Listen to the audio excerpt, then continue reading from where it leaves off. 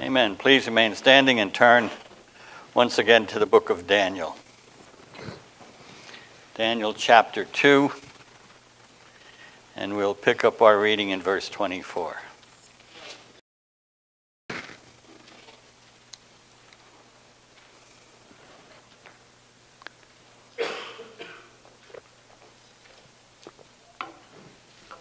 Daniel 2, starting in verse 24. Hear now the word of God. Therefore, Daniel went into Arioch, whom the king had appointed to destroy the wise men of Babylon. He went and spoke to him as follows Do not destroy the wise men of Babylon. Take me into the king's presence, and I will declare the interpretation to the king. Then Arioch hurriedly brought Daniel into the king's presence and spoke to him as follows I have found a man among the exiles of, from Judah who can make the interpretation known to the king. The king said to Daniel, whose name was Belteshazzar, Are you able to make known to me the dream which I have seen and its interpretation? Daniel answered before the king and said, As for the mystery about which the king has inquired, neither wise men, conjurers, magicians, nor diviners are able to declare it to the king. However, there is a God in heaven who reveals mysteries, and he has made known to King Nebuchadnezzar what will take place in the latter days. This was your dream and the visions in your mind while on your bed. As for you, O king, while on your bed your thoughts turned to what would take place in the future, and he who reveals mysteries has made known to you what will take place. But as for me, this mystery has not been revealed to me for any wisdom residing me more than in any other living man, but for the purpose of making the interpretation known to the king, that you may understand the thoughts of your mind. Let's pray. Father, once again, as we look into this book of Daniel, a book of wisdom, a book of mystery, we pray, Father, that you would open our eyes, ears, and our hearts, just as you did to Daniel, that we would understand what you have to say to your church, and that understanding it, we would obey it, and that, Father, we would advance your kingdom and become more like Jesus Christ. It's in his name we pray. Amen. Please be seated.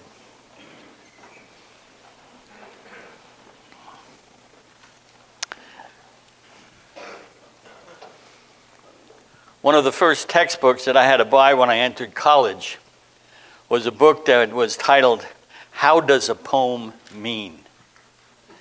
It was required for my Humanities 101 course. And the purpose of the book was to teach students how to interpret the meaning of a poem by analyzing the various literary devices that are used by poets. Now, this proved to be very useful to a young engineering student whose humanities professor was obsessed with the poetry of Emily Dickinson. For those of you who are unfamiliar with Emily Dickinson, listen to this description. Emily Dickinson is considered one of the leading 19th century American poets, known for her bold original verse, which stands out for its epigrammatic compression, haunting personal voice, and enigmatic brilliance. I had trouble interpreting that, let alone her poetry. My point is that I needed help to understand her poetry. And I think that's, that's true for most of us, isn't it? But it's equally true of the Bible, and perhaps even more so, because the Bible is a unique book. It's a one of a kind book. It is both human and divine at the same time. And to fully understand the content of the Bible, you need divine guidance. You, if you're going to understand the spiritual aspects of the book, you need the Holy Spirit. But the Bible is also written in various literary styles. Therefore, study and careful interpretive skills are, are essential if you're going to obtain the maximum benefit from your, your Bible study. Now, while the gospel message is, is simple. In fact, simple enough for a child to understand it. But there are portions which are very difficult to understand.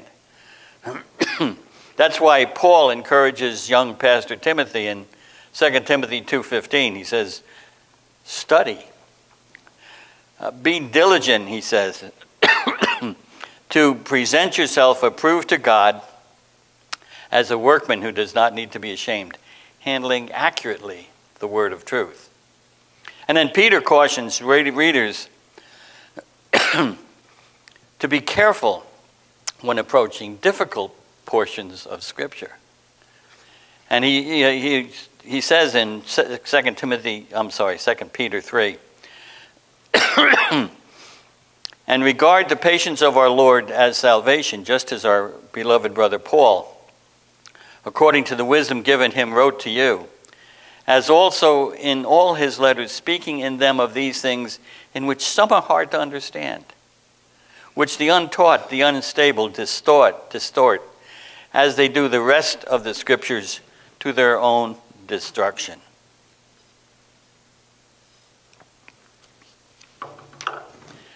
That's why, in our introductory sermon to Daniel, we reviewed some of the principles of hermeneutics, some of the principles of biblical interpretation.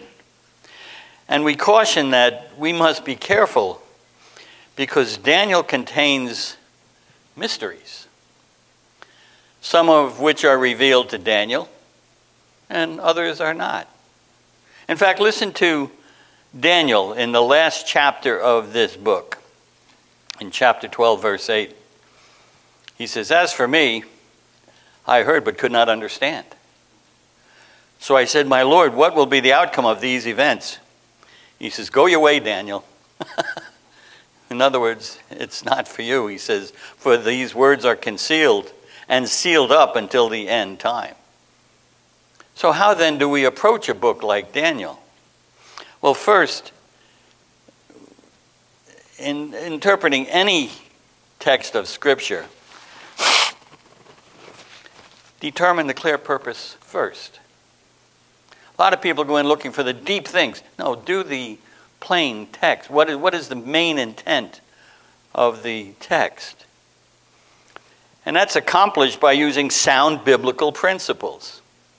Once you have determined what the purpose of the text is, you can look at the imagery, the metaphors, and all the figures of speech that God uses to enrich the text.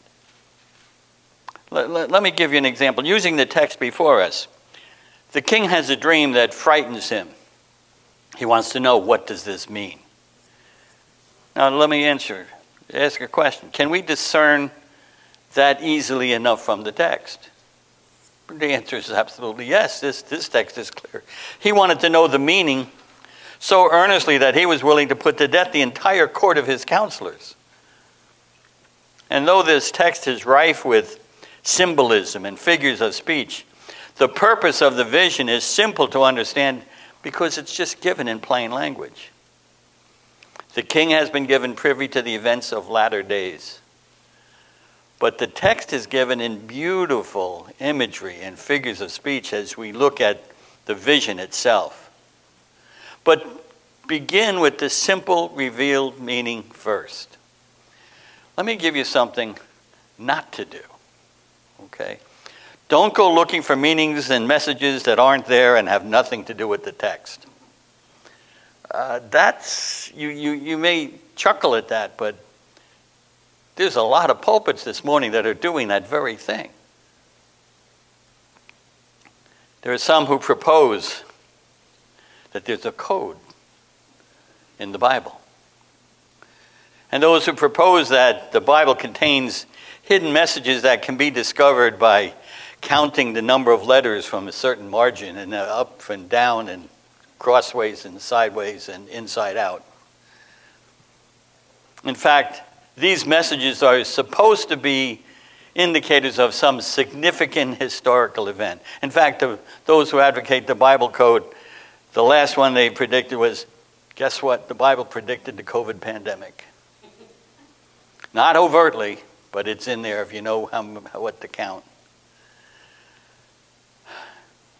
How can I put this? That is a total misuse of Scripture. The imagery and style of a passage of Scripture is meant to enhance the clear meaning. Take Isaiah 52. We actually sang this this morning. What a coincidence. Oh, I asked them to do it. the clear meaning.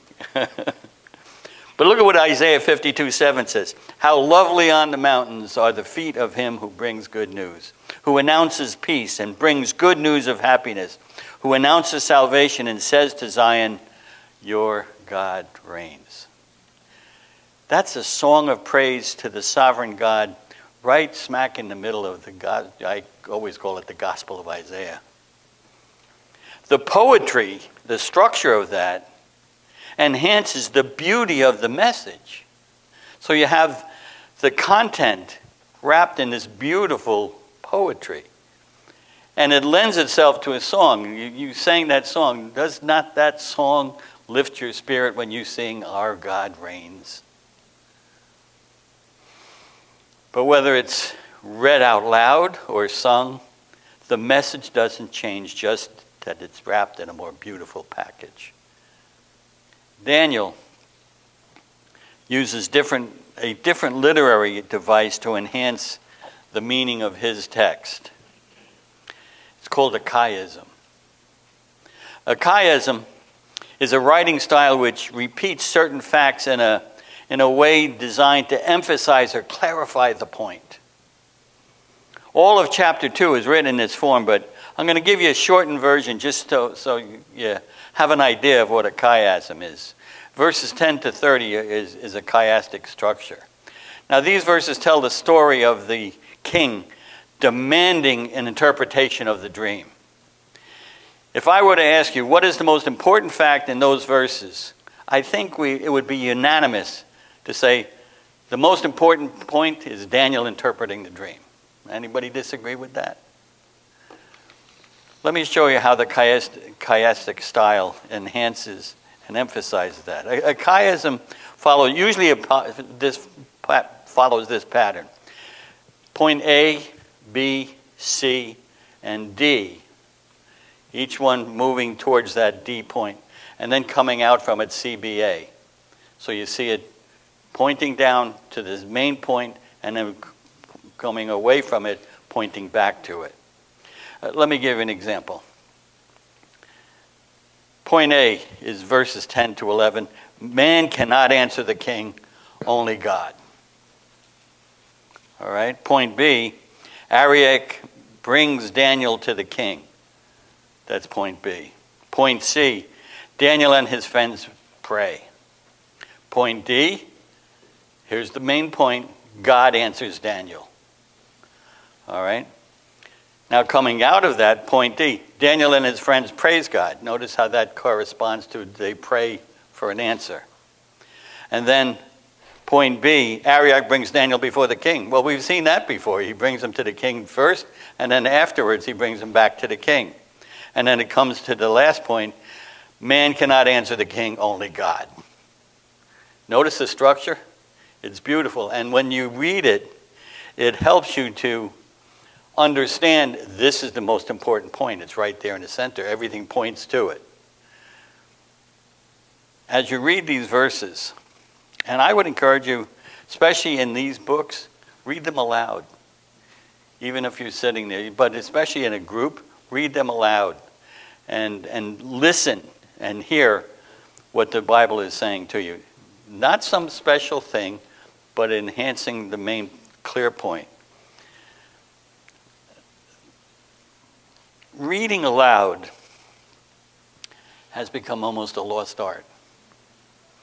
A number of years ago in our prayer meeting, we read the book of Pilgrim's Progress, and we assigned parts to the congregation. We sat there and we read through the whole book, emphasizing the parts, almost like play acting without the acting just to it. And we're going to do it again because it's such a benefit. Number one, that book is so important to our Christian walk, but it, to, to get you maybe more excited about reading and reading aloud. That's why we read so much of the scripture aloud. You, you may be saying, Pastor, you know, you, we've read Daniel 1, uh, Daniel chapter 2 for almost a whole chapter every week now for about three weeks. And you're probably going to hear it some more. Because reading aloud helps us to, to hear besides seeing and using all our senses in when we're studying the scriptures. In fact, many of the Psalms are written chiastically, which I, I think that's a word, chiastically, which makes them even more suitable to sing. You realize that Psalms were meant to sing. I'm going to give you a voluntary homework assignment. Daniel's prayer in verses 20 to 23 is a chiasm. When you go home, see if you can diagram it. Just, just give it a shot. I think it'll help you in your study. Now back to the text. Last week we concluded with the prayer of thanksgiving of Daniel. And his next action is also extremely significant. Look at chapter 2, verse 24. Therefore, Daniel went into Arioch, whom the king had appointed to destroy the wise men of Babylon. And he went in and spoke to him as follows Do not destroy the wise men of Babylon. Take me into the king's presence, and I will declare the interpretation to the king. Here's my point. First point. When Daniel gets off his knees, he springs into action. This is a matter of life and death, not just for him and his friends, but for all the wise men in the king's court. So Daniel immediately finds the chief bodyguard, Arioch, and petitions him, Take me to the king. Notice how he begins the request Do not destroy the wise men of Babylon. Daniel is concerned about even the lives of the Chaldeans. These men were self centered charlatans, and yet Daniel has regard for their lives. See, Daniel has not only a sense of justice, but of mercy in his character. You know, he could have easily have rationalized just letting them go to the gallows. He could have argued before the king, Look, your majesty, they couldn't answer your request, so put them to death. Listen to me, I got it. Isn't that the way our depraved human natures think often? Two men competing for the same job. Smear the reputation of your opponent while exalting yourself. But that's not godly character. Daniel's concern was for the safety of everyone, even his enemies. Arioch, he says, stop the king from following through on his command. Take me to him, I have the answer. Before we move on, it's an important comment on these events. Notice that when Daniel prays, he immediately springs into action. Too often Christians pray about a matter and then sit back and wait for the miracle. Now, don't get me wrong, there's nothing wrong with praying for miracles.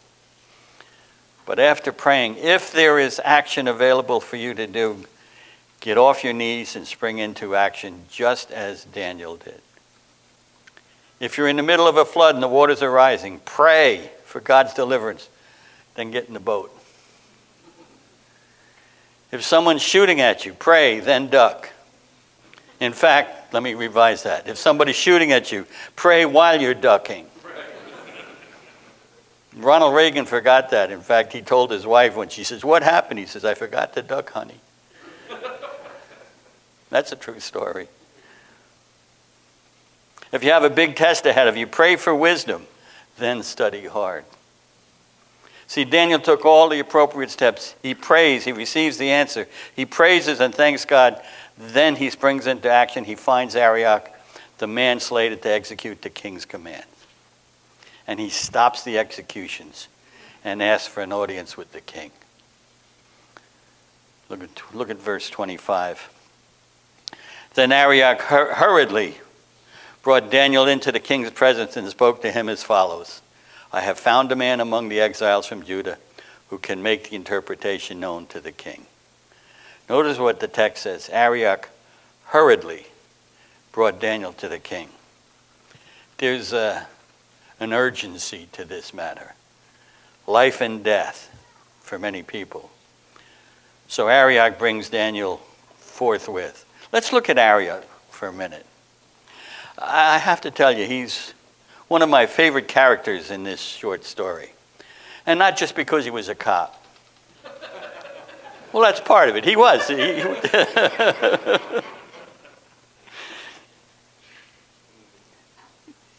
he is the ranking law enforcement officer in the king's court, chief of the bodyguard. So, yes, he's, he's a cop.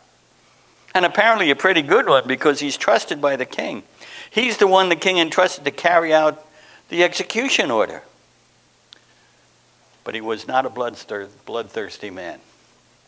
For when he gets the news from Daniel that there's an answer to the king dream, king's dream, he hurries to get Daniel before the king. That tells me he wanted to avoid bloodshed. He was interested in saving the lives of the Risemen. I like this guy. And apparently he had a relationship with Daniel as well, because Daniel trusted him to bring him to before the king with an important message. Now, he does have one flaw that's noted in here. He's very much like the police brass today. He's ambitious and he's looking to get ahead. He wants to garner favor with the powers that be. And I'm not speculating here because look what he tells the king. I have found a man among the exiles from Judah who can make the interpretation known to the king. That's not really accurate. Daniel found him. He didn't find Daniel. But I'm willing to overlook that because he had an opportunity for career advancement. I mean, come on, this is exactly what happens today. You ever watch a press conference after a major crime has been solved? The mayor or the county executive takes the podium, and behind him are all the chiefs jockeying for position so they can be seen by the camera. They're almost pushing each other off the podium. And where are the detectives that solved the case? They're in the back room. So we'll have to overlook. Arioch's got this little character flaw. That's politics, and it hasn't changed since Babylon. But then we see in verse 26, the king speaks.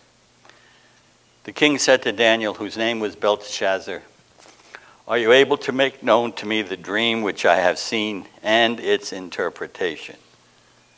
Remember, that's the centerpiece. The purpose of this whole portion of Scripture is right here in verse 19. God answered Daniel's prayer. Everything beforehand leads up to that, and everything up to verse 30 looks back to it. But these details are nonetheless important.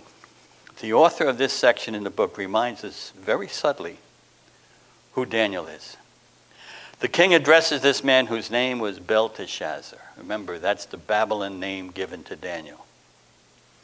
But don't forget, though his name has been changed to a Babylonian name, he's still Daniel, the faithful servant of the Lord God Jehovah. And the king speaks are you able to make known to me the dream which I have seen and its interpretation? The king's question, his demand, has not changed throughout the whole affair. So he doesn't mince words here either with Daniel. Remember, he has been told by his chief counselors that no man on earth can do what he asks. But he remains steadfast in his demand. Can you do it or not? And then Daniel responds in verse 27. Daniel answered before the king and said, As for the mystery about which the king has inquired, neither wise men, conjurers, magicians, nor diviners are able to declare it to the king. Uh, here we see again Daniel's boldness and yet humility.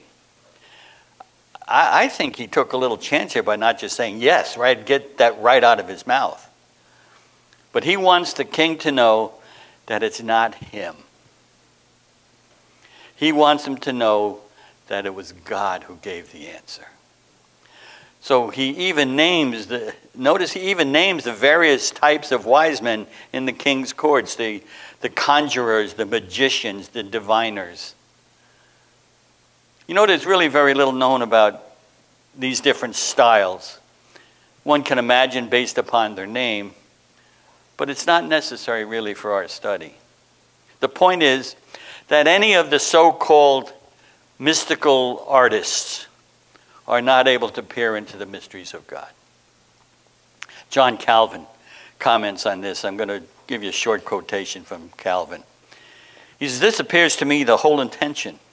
The king's dream was not subjected to human knowledge, for mortals have no such natural skill as to be able to comprehend the meaning of the dream, and God manifests those secrets which need the peculiar revelation of the Spirit. When Daniel says the magi, astrologers, and the rest cannot explain to the king his dream, and are not suitable interpreters of it, the true reason is because the dream was not natural and had nothing in common with human conjectures, but was a, the peculiar revelation of the Spirit. So says John Calvin. That's why Daniel gives the response to the king in more than just one word. He demonstrates boldness and humility, two great qualities and once again, we see Daniel's wisdom come through as he continues to speak. Verse 28. However, there is a God in heaven who reveals mysteries, and he has made known to King Nebuchadnezzar what will take place in the latter days. This was your dream and the visions in your mind while on your bed. First, he relates the source of the vision was God. And more specifically, the God in heaven. God just didn't reveal the answer, but He is the source of the dream in the first place. And this is really important for Daniel to make clear because it separates him from the other wise men and gives glory again to God. Second, he introduces Nebuchadnezzar to the concept that the king is revealing, uh, that God is revealing a secret to him as the king. In other words, the king has been selected by God to be the recipient of revelation of future world events. We'll pick that theme up a little while later on, not today, but in a future message. But that's an important, important point. The thought that he would have insight into the future had to be exciting for the king. There's a lot of literature out there concerning time travel and having knowledge of the future.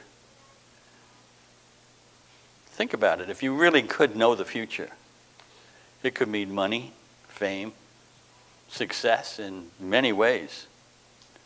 Nebuchadnezzar was an ambitious man, so this had to be going through his mind. The thought must have been appealing to him I'm going to get a glimpse of the future. Next, Daniel lays the foundation for the dream. He says, This was your dream and the visions in your mind while on your bed. In verse 29, As for you, O king, while on your bed, your thoughts turned to what would take place in the future. And he who reveals mysteries has made known to you what will take place. Ever wonder what people think about when they lay down to go to sleep? What do you think about when you lay down to go to sleep? When I was a detective, especially when I was preparing to testify in court, I laid down and all I could think was I was rehearsing my testimony for the next day. How was I going to answer this? What if I was asked this question? What if I was asked that question? I wanted to be as prepared as possible. But I'm not going to court anymore. Now that I'm a pastor, I go to sleep pondering the scripture I'm preaching. I always think about how what what does this mean? What does that mean? How can I dwell how can I get this point across? I dwell on it and meditate on it, and that's usually how I fall asleep at night. By the way, I sleep very well. it's a great way to go to sleep.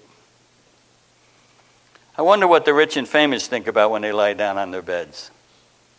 We're told here what the king thought about. He thought about the future. What does the future hold? Knowing the future, think how that could benefit a king. Wow. And Daniel tells him God has revealed some of the future of the latter days. And then Daniel says something surprising. Look at verse 30. But as for me, this mystery has not been revealed to me for any wisdom residing in me more than in any other living man, but for the purpose of making the interpretation known to the king, that you may understand the thoughts of your mind. First, Daniel reiterates that the revelation doesn't come from any inherent wisdom in himself. The interpretation comes from God.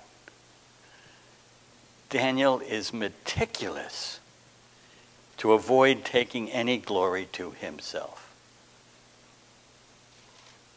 When I was reading this, I immediately thought of the Isaac Watts hymn, which we sang earlier today.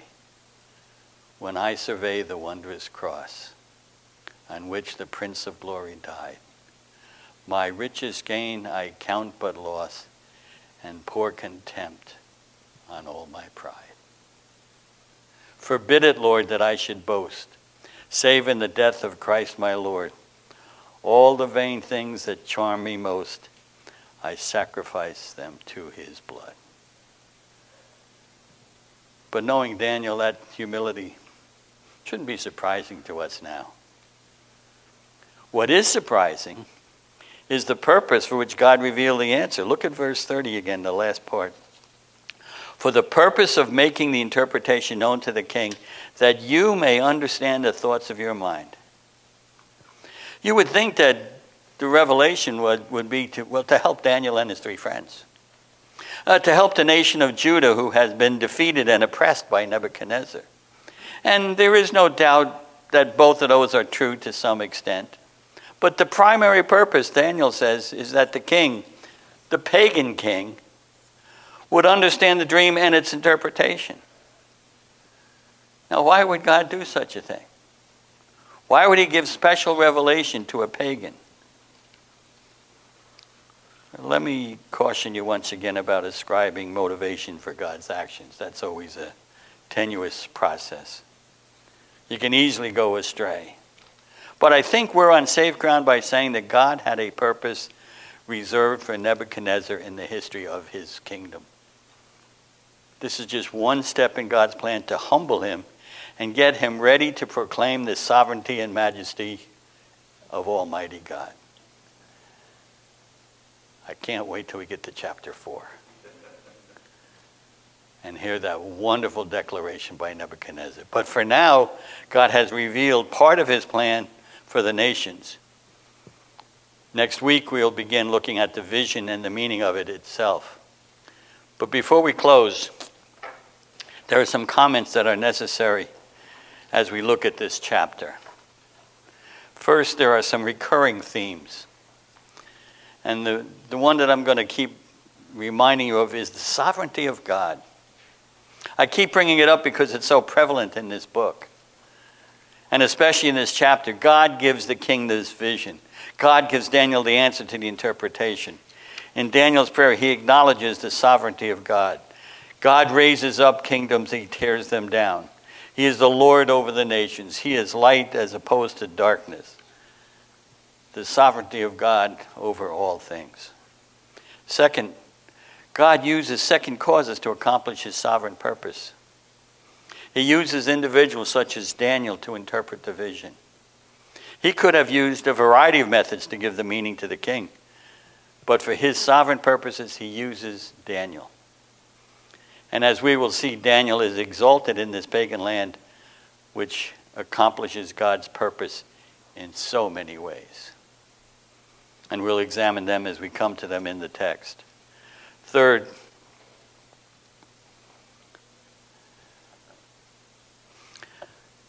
another really repeating theme. If you look at this chapter, following after the world and its wisdom brings death. The wise men of Babylon couldn't answer the king, and that meant death for everyone. Listening, just as listening to the serpent in the garden brought death for everyone. listening to God brings life everlasting. In Daniel, the king put design, demands upon the wise men that they couldn't bear. All the wise men were condemned to death. God gives the answer to Daniel, and listening to God brings life, not just for him, but for all the wise men. What is impossible for man is impossible is possible with God. Fourth principle, which I want to introduce again, God uses human governments to accomplish his purposes. Let me say that again. God uses human governments to accomplish his purposes. Therefore, the Christian should see that there is a purpose in this world, regardless of the status of the society in which we live. That's why we pray for our governing officials right from this pulpit every week. We pray for them on Wednesday. See, just as God was working his sovereign purposes for the people in that pagan nation of Babylon, he is working his purpose in every nation today, not just the United States of America. Sometimes we have a tendency, we get a tunnel vision, and all we think is the society we live in. God is working all around this world in many nations that, that we don't even know of. One of the things in one of our trips to Ukraine, we had opportunity to speak to many pastors and governing officials, and they told us that when the Soviet Union broke down and Ukraine obtained its freedom, they found out that the church had prospered under the Soviet Union. We in the West didn't even know that. We thought that, the, that everything was so oppressive, the church was all but extinct. The church was vibrant. It's gotten weaker with our influence. Because unfortunately, we're not always bringing a godly influence, but humanistic influence. So, just as God was working his sovereign purposes for people in Babylon, he's working in nations today. So, I have a question for you. Why are you discouraged? This is still Christ's world. Fifth, I want to introduce again the term latter days. This term has become an eschatological buzzword. There are those who teach that every time you see this phrase, it's referring to the second coming of Jesus Christ, regardless of the context it's used in. That is just plain poor hermeneutics. Daniel uses the phrase here in verse 28. He says, And he has made known to King Nebuchadnezzar what will take place in the latter days. Now, since this vision is what will explain what will take place in latter days, we should let that tell us what he means by the latter days. Now, we haven't seen the vision yet, so I'm just introducing. We'll uh, expand on it later on. But we will see that this vision tells us what's going to happen in the world, on the world stage, from Babylon to Rome, which is when Christ comes to earth. That's the extent of the vision. So, what are the latter days? In this text, the latter days are end with the kingdom of God crushing all other kingdoms the rock cut without hands. And we'll see that as we go. I know I'm throwing out a lot this morning. The kingdom of Christ came to earth and began to spread in the first century, and it continues to spread. That gives us a time frame to keep in mind as we expound the vision. And then one last thought, and uh, this is supreme. Remember, the centerpiece of Scripture is always Jesus Christ with all the visions and the fantastic occurrences in this book, never lose sight of the fact it's all about Jesus. Mankind is impotent to save himself in this fallen world. The only hope is Jesus Christ. Our hope is built on nothing less than Jesus' blood and righteousness. Where have we heard that? You know, I'm grateful for that book, that textbook how does a poem mean? Because it helped me get through. I didn't get an A, but it helped me get through that class on Emily Dickinson. I didn't, love, I didn't develop a love for reading, however, until quite a few years later. but learning how to read Scripture and see the beauty of not just the content itself, but the style and the imagery that it's wrapped up in is truly a blessing. I would encourage you to look for the biblical poetry and the images found in this truly unique book, this one of a kind book, to learn how to enjoy reading the Bible, for it is truly the Word of God. Keep studying and reading as we pursue the wisdom in the book of Daniel. After all, I promised you, it is a fantastic book. If you're here today and you're not a believer, take a lesson from Daniel. If you follow the wisdom of this world, it leads to death. Follow Christ and receive life everlasting. Let's pray.